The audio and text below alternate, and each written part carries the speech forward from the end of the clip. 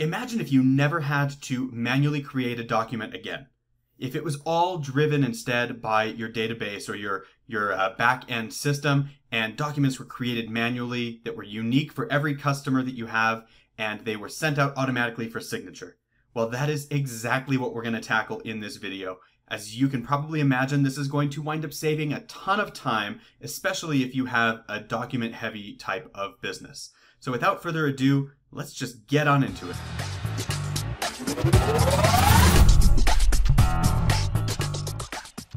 Hey, my name is Gareth Pronovost. I'm the owner of Gap Consulting, where we help businesses build automated back end systems that help them maximize the efficiency of their business. Now, in this video, as I said, we're going to be going into how you can build a process around your document creation so that it is fully automated and that it gets sent out to recipients for signature. Uh, but before we get to it, if you are new to this channel and you want to check out more on automation and learn more tips on how to use Airtable efficiently, be sure to click subscribe at the bottom of this video somewhere uh, and give this a thumbs up so that you don't miss out on our future content. That being said though, let's just jump on into my screen here. So what you see in front of you is the Airtable setup. And so we're going to imagine a scenario here where we've got uh, you know, a bunch of different contacts that live in our contacts table. And then we link to the contacts table in when, whenever we create some sort of a contract. So for this example, we're sending out an agreement, uh, and you could have any number of different contracts that you might send out, right? In this case, we're just going to select send agreement, but it could be any number of different contracts. And this same automation could be built for every single process that you have documentation wise. Okay. So what we're doing here is we are creating a new uh, contract by bringing in the contact information. So if you're not familiar with the lookup field, this is going to come into play here. The lookup field is a way that we're going to bring in data that exists in another table. So we need specifically to know what the contact email is, the contact's company name, and some other variables, and we'll go into those. But the important thing is that they exist in the contacts level and that we bring them in through the lookup field. And that means that once we've established the linked relationship to the contact, that we know what those other data points are. And we can uh, go ahead and, and illustrate those here by, for example, bringing in the contact company. You see this is a lookup here. And so we know that the company name that Yosemite Sam is working with is signature example. Okay, so we're going to go ahead and hide this back, but just know that these things are working underneath the surface here. Uh, and so if you need any additional uh, advice on setting that up, be sure to look at the Airtable lookup field. All right, so this is a two-parter in part. Well, let me, let me be more precise. First of all, we're going to build an automation that takes this uh, new agreement in Airtable and it creates a document inside of a software called DocuPilot. And DocuPilot allows us to have a template that has merge tags in it.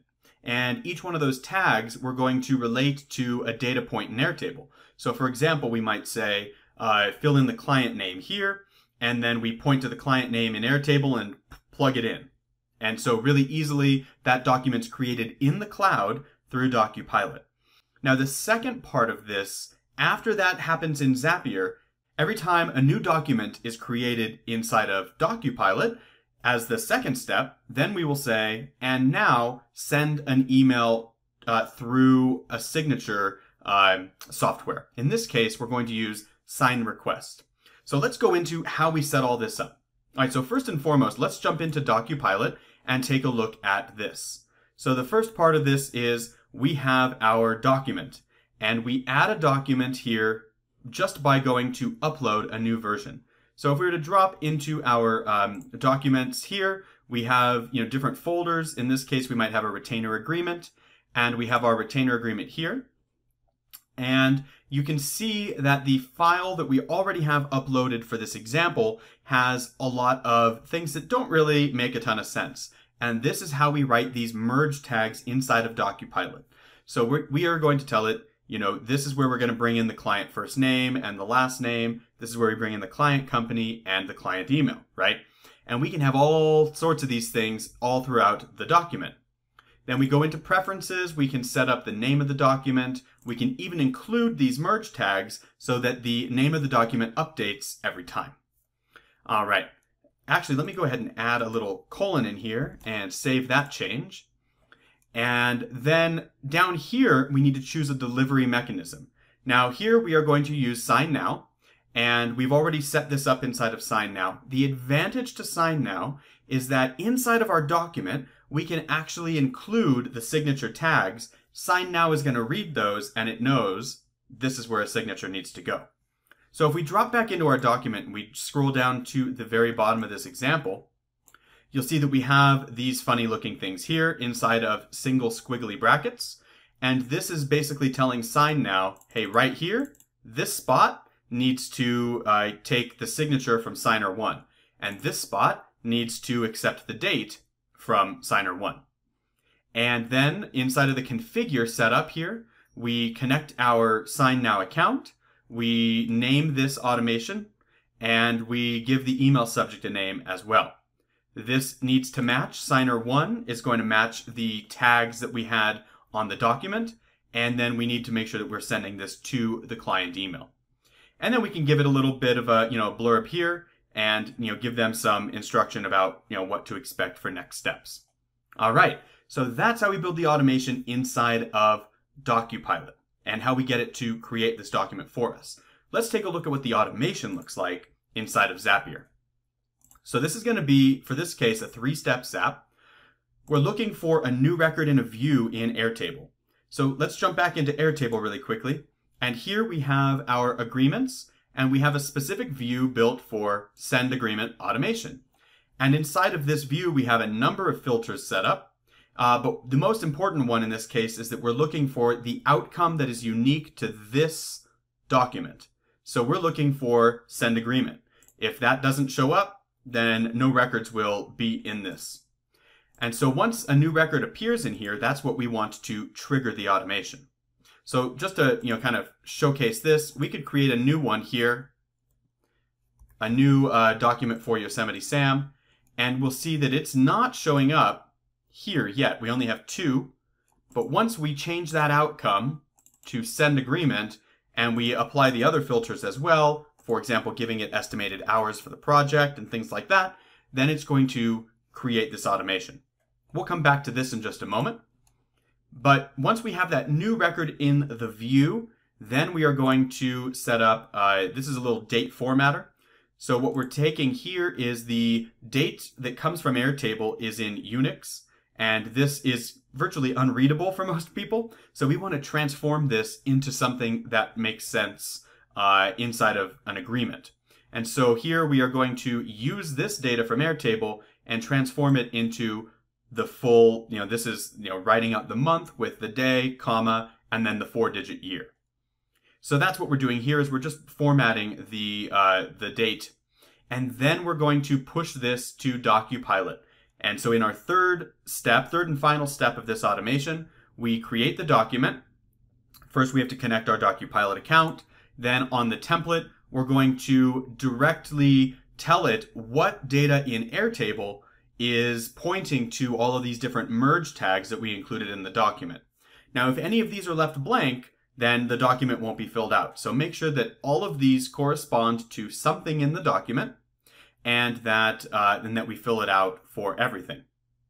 All right, so let's go ahead and jump out of here and we'll go back to our dashboard here and let's set this up. We'll send the agreement, which means that now it should be available as the third record in this specific view. So Zapier is now going to see it, but I'm going to run it manually. Zapier would normally take five minutes uh, to 15 minutes, depending on what plan you're on. And we see that Zapier saw that new record, it uh, it's formatting the date and it takes a minute, but now it's created that document in DocuPilot. Now I set this up to send to my own uh, personal email. So let's take a look and see if we received anything there. Bring this into my other window. And this is what just came in.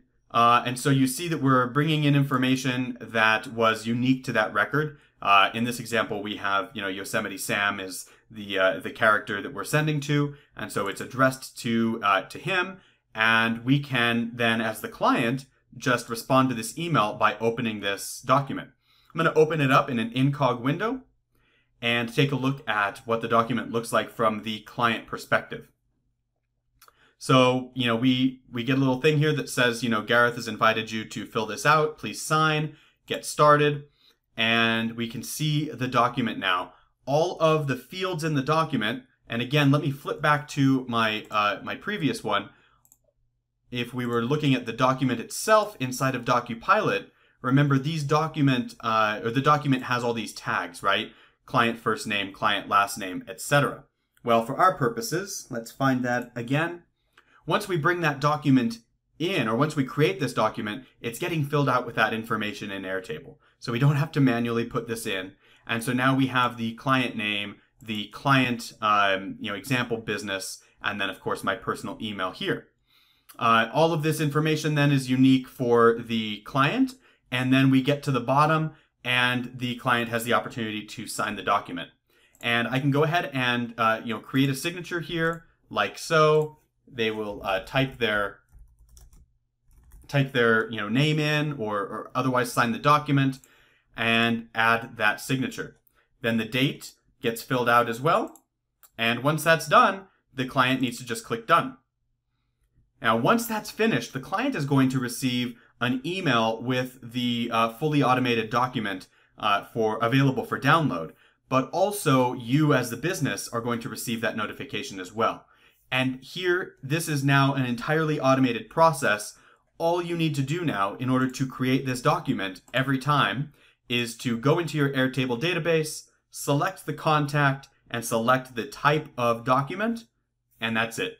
Everything else is done for you. Documents created, the client receives the information and the document and can sign electronically then and there. All right, as always, I hope you found that to be super helpful. If you did and you have some business questions that you'd like to run by us, definitely swing by our website. The link will be in the description, and we offer up times so that we can hop on a call with you. You can book directly there, and we can set something up that works for both of us. What we'll be discussing is building a solution for you that puts all of your data in one place and gives you a nice, concise dashboard so that you know what's happening in your business at all times. Additionally, we will work on building custom bespoke automation for you so that you can eliminate the time that you spend on repetitive tasks and save countless hours every week. So if that's of interest, definitely swing by our website and check out the different offers that we have there.